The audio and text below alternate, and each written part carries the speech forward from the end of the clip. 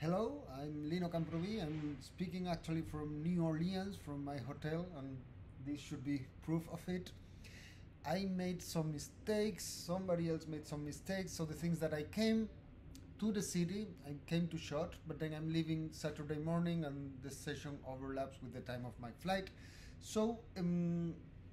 this is how we're going to do it. I'm going to record a brief version of my paper and then hopefully you'll be able to take it into account in, the discussion if you feel like it. And John Krige would be nice enough to, to include the paper in the small commentary. And hopefully also you will be able to send me your individual comments as, as audience to my email, which is lcamprubi, so my the first letter of my name and then my last name at usdoc.es. Okay, thank you very much. So I'm going to talk about frontier technologies, making of new maritime boundaries and maritime space, and also the role of peripheral peripheral countries in this. Basically, the point is that for many many centuries, um, the seas were considered free spaces free from sovereignty in the sense that um, the doctrine of the freedom of the seas enabled ships, particularly if you were British, to travel wherever you wanted in the globe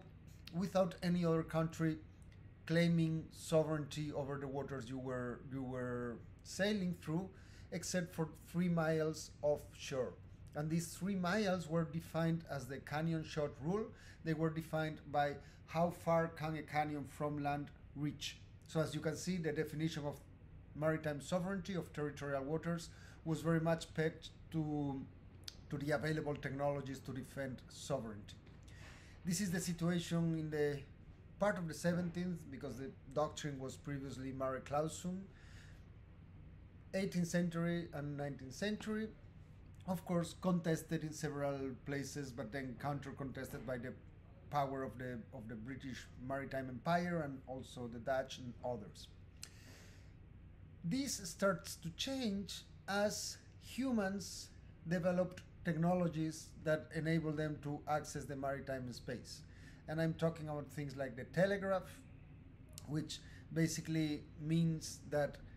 infrastructures began to be built in a space which was previously thought to be void of human constructions. And Hugo Grotius, who was in the 17th century one of the main proponents and defendants of the doctrine of the mare liberum, the freedom of the seas, his argument was precisely that people cannot build stable structures at sea. So, what was the point of attributing territory, of attributing sovereignty? Well, this changes the moment you have telegraphs, but it changes even more the moment you have, and this is 1920s, 1930s, offshore drilling facilities. The, the ability to be able to build and maintain structures offshore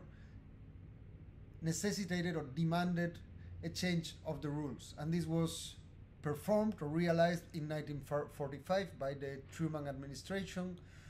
who issued an unilateral decree saying the territory of the United States reaches as far as the seabed of its continental shelf. This meant effectively that the water between the surface and the seabed was considered high seas, so the freedom of the seas doctrine prevailed, but the seabed was considered part of the territory. And this is this is an interesting legal fiction because well, land ends where the sea starts, right? But the argument was, well, no, land ends where the continental shelf ends. And this is obviously an argument that you can only make when you know what a continental shelf is and when you have the technologies, uh, but also the scientific knowledge, in this case in geology, to map and chart an space that until very recently before was very much unknown Of course, people in the 19th century and the US in particular, the US Navy dev- devoted huge efforts to sound with ropes um, and chart the, the seabed. But the ability to do so with sonar, as was possible in the first third and first half of the 20th century is one of the reasons, together with the possibility of building offshore drilling facilities, that mm, that possibilitated, po- sorry, made possible the this notion of my territory reaches until where my continental uh, shelf reaches. Okay, so from this narrative, it would seem that core technological countries had the initiative and, and, had a huge advantage when redefining the maritime space, right? Because if I'm saying that in order to, to do that, in order to change from the freedom of the seas doctrine into something completely different, you need to develop the technologies, and those technologies were not always easy to develop, and they were mm, sonar in particular very much linked to war and if you're one of the winners in the war effort and a big power you're the chances are that you're going to be able to develop better sonar and use it in larger quantities. So the ability to charge the continental shelf was at the time limited to a few countries it would seem that then the making of the new global doctrine of the sea was a matter of some core and non peripheral countries. However, immediately after the Truman administration's decree in 1945, in the, in the years following, countries such as Chile, Ecuador, and Peru put forward also unilateral claims for their own territorial waters. And in this case, they expanded them even more, not only to their respective continental shelves, but for 200 nautical miles. And their argument was not geological, it was it was related to physical oceanography. They said, well, this is where the Humboldt current runs. It runs so far from my coast, and the resources there were not linked to the seabed, they were linked to the volume of water, to the column of water, where due to the Humboldt current, fishery was very rich. So this means that they extended their sovereignty outward, outwards but it also means that they extended it vertically because they were claiming that they had first rights over, over the fisheries of their territorial waters. I'm, I'm using these, these terms with quotations now because what happened immediately, uh, but, but before going there, just, just to be clear, to make the pinpoint the argument that peripheral countries were key in making these 200 nautical miles the new limit, as opposed to the previous three uh, nautical miles that was defined as, as the cannon shot rule. So, what happened very early on is that many different countries around the world started to unilaterally claim sovereign waters of different distances. And this, of course, created problems, and most of them were de- dealt with, not solved, but dealt with bilateral agreements, but there was this sense that a scramble of the sea had begun and it would be good, after World War II in particular, to regulate it, not to not to just countries to, to let countries fight over this mm, this newly conquered space, but but to you know make rules about it. Uh, these rules came first in 1958 with the first UN Conference of the Law of the Sea, which sanctioned the the artificial number of 200 nautical miles as the official mm, um, distance to which countries could claim their sovereign waters. And it sanctioned other rules that were being developed at the time but it left many many blanks many gaps which were postponed. And they were postponed until the second UN Conference of the Law of the Sea, which uh, occurred in or was signed in 1982, but it was being prepared for much longer. So negotiations started in 1973, but the very idea of launching such a conference came from 1967, and it was uh, an ambassador from Malta in the UN,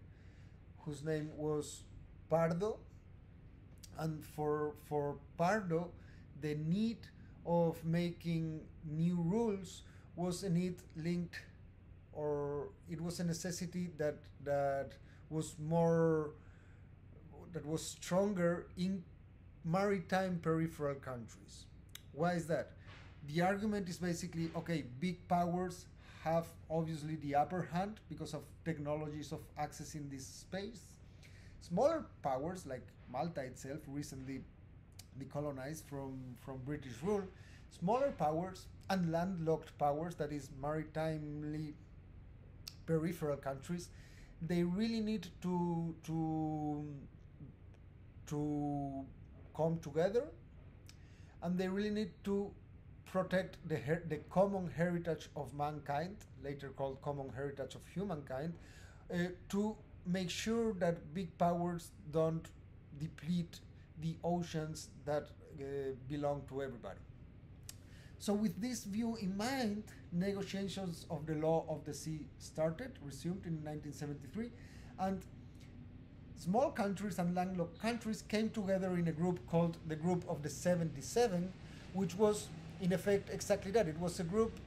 to make sure that smaller countries without access to the technologies necessary to redefine the maritime space had a say in how the maritime space was defined. So again, what I'm saying to pinpoint the argument in relation to the sessions that, that we have today is that peripheral countries did have a say in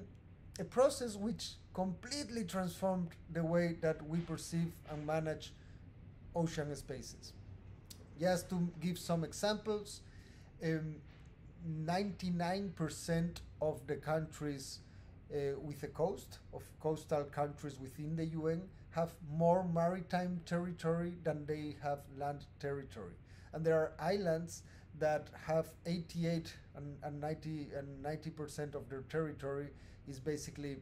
actually 80%. There are several that 80% of their of their territory is is uh, territorial waters. So much larger than their land territory. And there is of course an oxymoron here be, between territory, terra, and ocean and sea territory. But this is this going beyond this oxymoron is precisely what happened in the in the UN Conference of the Law of the Sea. So one would think then, according to the narrative that I just presented, that mm, this was in line with the process of decolonization and the new redefinition of the of the territorial space of the maritime uh, space as territorial space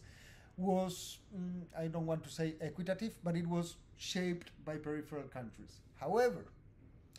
the outcomes of the law of the UN law of the sea contain such surprising facts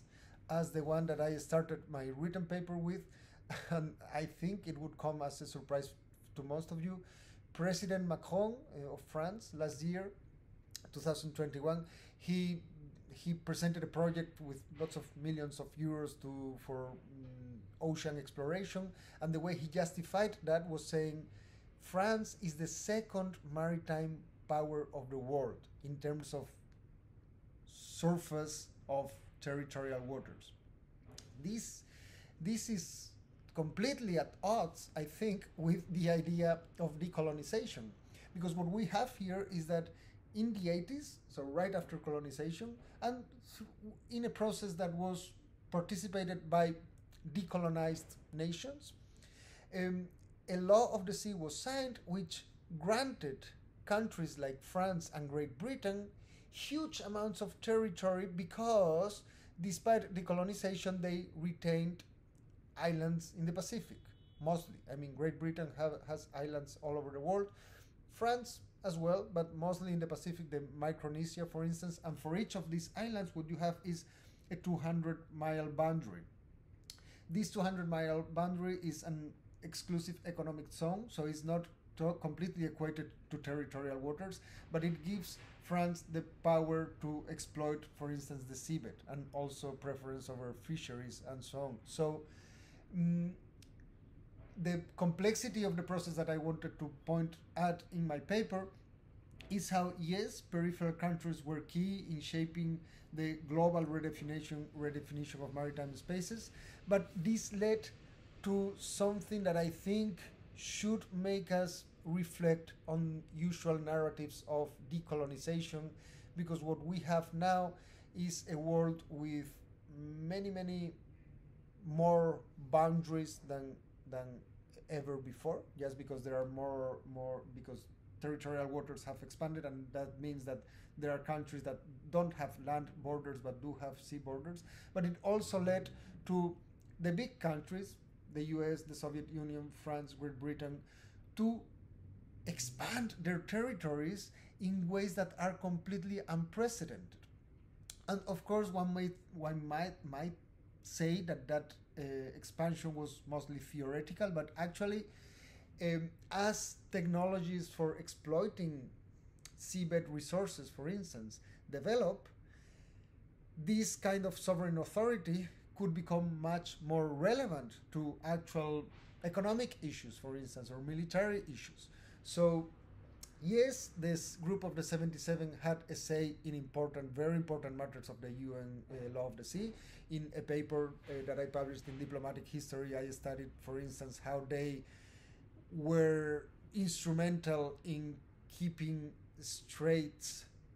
as high seas, only high seas, meaning freedom of the seas doctrine prevails. So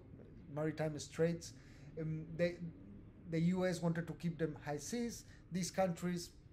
um, accepted that, but for many other um, aspects, straits are not are considered sovereign waters, and this is one of the reasons why the U.S. actually never signed the UN Conference of the Law of the Sea because this group of the 77 was able to push for uh, for an interpretation of the law that was not convenient to US interests. So, yes, the group of the 77, as maritimely peripheral countries, had a say in shaping this, this law of the sea, but it was not at all hegemonic or it was not at all uh, the only the only powers who shaped that law so that the end result in certain aspects comes to very strongly favor the old colonial powers. Anyway, I am together with a group in the University of Sevilla. I am leading um, the project called Deep Med, the discovering of the deep Mediterranean Sea, in which we studied, uh, which we in which we study this coevolution between strategy and science and technology to understand how the Mediterranean deep maritime space has been perceived but also transformed and also divided through new maritime boundaries and frontiers. Again, I'm sorry for the format. I hope it works and thank you very, very much for your attention. Have a good session.